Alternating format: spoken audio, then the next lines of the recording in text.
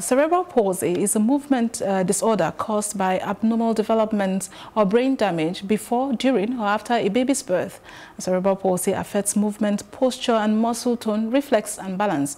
It causes abnormal reflexes, floppiness, or rigidity of the limbs and trunks, involuntary movements, and unsteady walking in some cases, or some combination of these.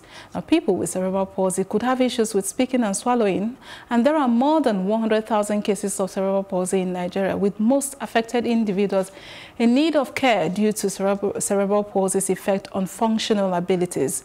Though symptoms and severity differs from individuals to individuals, most affected with the condition, uh, and they still go on to fulfill uh, the purpose in life. And with me in the studio to talk about fulfilling purpose uh, while having a, a cerebral palsy is Toma Owunu. Good afternoon, Toma. Good afternoon. And it's good to have you here. Same. Now, Toma, uh, I know that you are an artist. Um, part of why we brought you here is to tell us how are you able to paint, you know, uh, without using your hands? Wow. I paint with my leg. With my leg. That's how did you discover, when did you start painting? How did all of this happen for you? Actually, some years back, I watched a documentary. So I saw a guy using his leg. So I told myself that I can actually do that.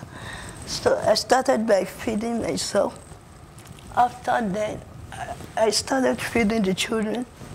Then was this beautiful day, friend of mine came in and she said, so we can try to do something better than feeding the children with your leg.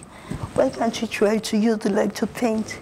I said, well, are you sure? Am I going to be able to do it? She said, let us give it a try. And that's how we started. She would, she would draw an object on a, on a newspaper and she would give me the painting brush to just do however that I want. And that's how God has made it to be possible.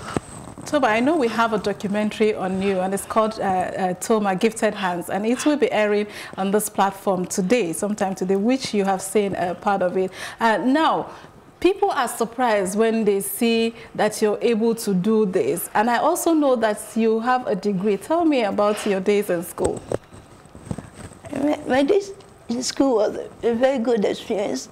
It was a very good experience. I never believed that I could go, but by squares, I can't do all things. So it was really, really fun and it was really, really challenging. Mm. I know, I can imagine. Now, let's talk about your art, your artwork. You do all kinds of paintings, which of course we also have. Tell me, what inspires your painting? What inspires my painting is my painting based on landscape painting.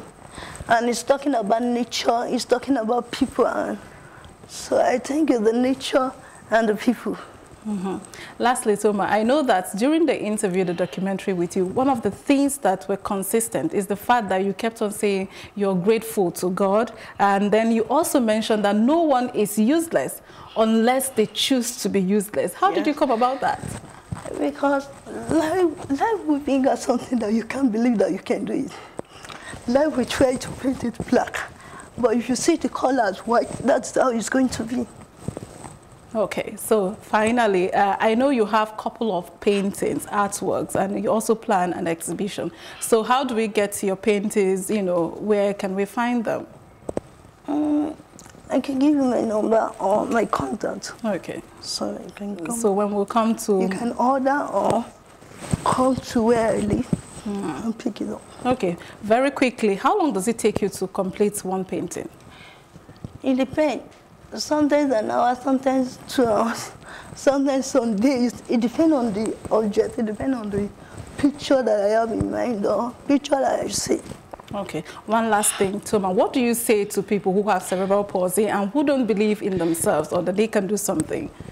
And no, my, my advice for them is just for them to love yourself for who they are Um, and believe that God has a plan for their life. Thank you so very much, Toma, for joining us. And I recall also that during the interview, you said that everybody is important. So yes. thank you for sharing your life with us and this moment with us. Thank you.